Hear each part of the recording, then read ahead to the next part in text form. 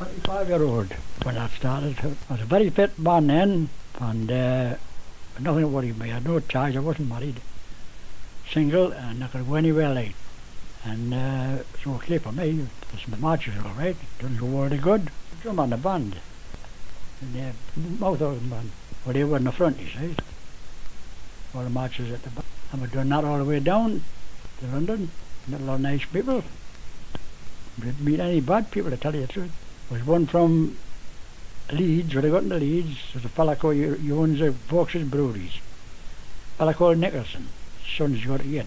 When we got to Leeds, he put a five course dinner on for us in the Leeds Town Hall.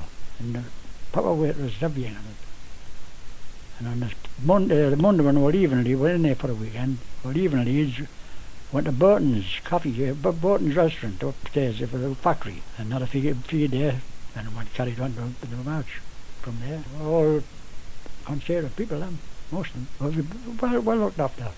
We got to London, it was bucking down the rain, so it was no deception for a start off.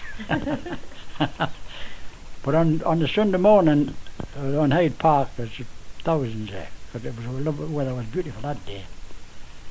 And uh, we went to Parliament, went to Parliament for uh, different times, got a special seat in there. Didn't get what I wanted, like, of course. Started a war three years after that, we got a job then. Did everybody else. the 5th of October to the 5th of November when I come back. So that was 25 years. Thousands there, thousands. The first thing I'd done was going for a pint and food. I was